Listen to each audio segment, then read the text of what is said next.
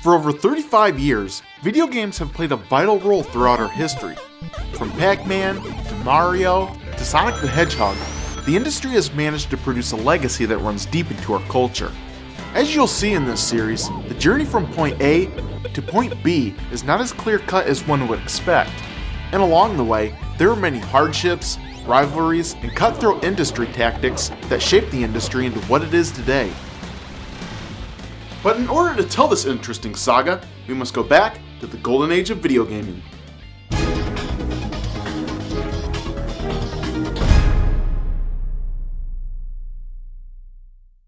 In the fall of 1977, the video game market was in the middle of its first real video game crash. The arcade scene was filled with a rehash of old video game ideas, and the home consumer market was drowning in a sea of Pong consoles. Ah! By October 1977, Atari had been sold to Warner Communications, who are now calling the shots for Atari. By thinking outside the box, they introduced a brand new home console for the holiday season that would challenge everything that was currently on the market the Atari VCS. The major innovation used here was the interchangeable cartridge system idea that was introduced with the Fairchild F. By using this, Atari knew this feature would extend the life of the product since players could insert a new game anytime they got tired of the old one. With this new console came newly designed controllers that included a joystick and a single action button. Alright, let's just see what this action button does. What the hell? Fire in the hole! Uh-huh. Also included were switches that controlled the color, a game select button, the difficulty, and last but not least, a reset button. A reset button.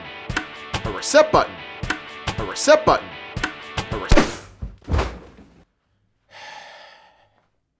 On October 1st, 1977, the Atari was released for $199.99. And here's a fast fact Atari made no money off the console itself. In fact, they overpriced the game cartridges in order to turn a profit since they only cost $2 to make. Early game cartridges were also numbered and color coded to signify the genre of the game it belonged to, but that was quickly phased out as more games were released. During the launch window, Atari had 9 games to choose from. And the first of these was the arcade version of Tank, but scaled down so that it could fit inside this small cartridge.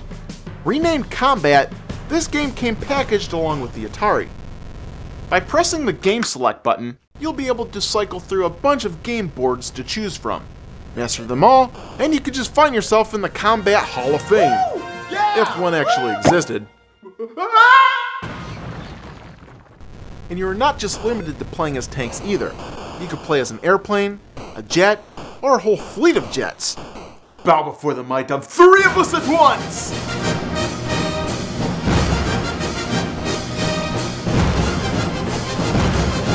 Of course, flying three planes at once does make you a bigger target.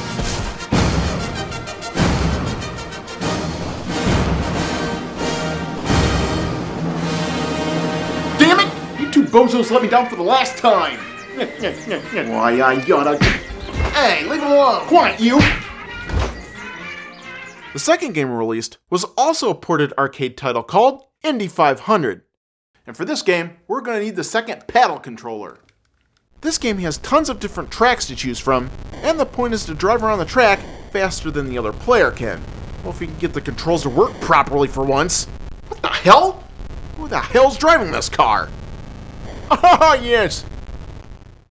The third game was, of course, a home console staple, Pong. But just to trick everyone into buying the game, this cartridge was called Video Olympics. Alright, an Olympics game. Let's check this out. Pong!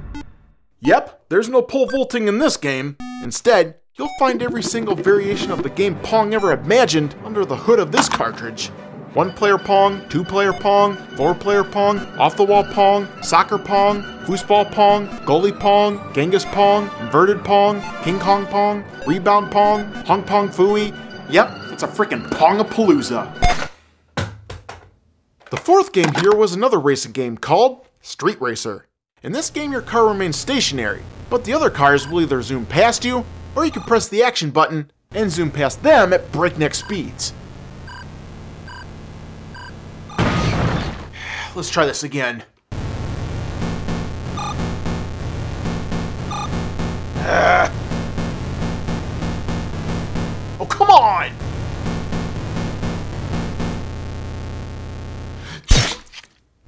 Ah, Magoo, you've done it again! And when you're tired of doing that, you can also play as a jet, a car, and whatever the hell this thing is. Uh, just forget it. The fifth game here is called Air Sea Battle, and it's another two-player game that requires you to move your gun turret around and clear the board of multiple rows of targets moving along at various speeds. Hit the game select button, and you'll bring up different screens, different enemies, and even a stage with movable gun turrets. Oh, hello. Stupid guns. The sixth game, Starship, allows us to fly around in space, shooting things like flying saucers, aliens, asteroids, and even Klingon warbirds of prey? Well, no matter. Fire at will, Mr. Spock! And rounding out the last of these three titles is a game named Jack Black. Oops, I mean Blackjack. Basic Math. Really? The answer is six! Ah, ah, oh shut up! And the game Surround, in which players maneuver a dot around the screen, leaving a trail behind it that is deadly upon touch. Alright, Blue, prepare to meet your maker! Not so fast, Green!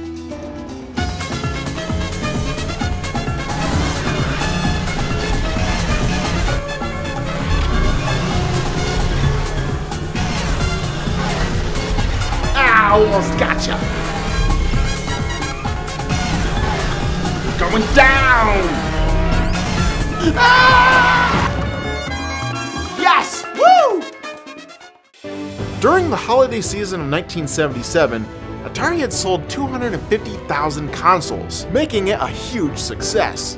Nolan Bushnell, however, had made it loud and clear that he thought Atari should ditch the VCS after the holiday season and move on to create a bigger and better console. Warner Communications, on the other hand, was behind the VCS 100% and vetoed his decision. They also hired a man named Ray Kassar to be Atari's new consultant, and Ray started by creating a marketing campaign that would keep the VCS from getting lost on the retail shelf. Attention shoppers, the new Atari cartridge game is in. Excuse me. Uh-oh. George again. Atari's Air Sea Battle. It comes with 27 games, but that's just for starters. You can get nine cartridges, 187 games. Blackjack. oh! I'd like an Atari. Sorry, only our demonstrators left. Mine! No, George. Mine. The new video computer system by Atari. More games, more fun. At this point in time, the tide of the video game crash was slowly changing. But before it was completely over, the arcade game side of things would need something special to get players excited again. Coming up next, the arcade games of 1978.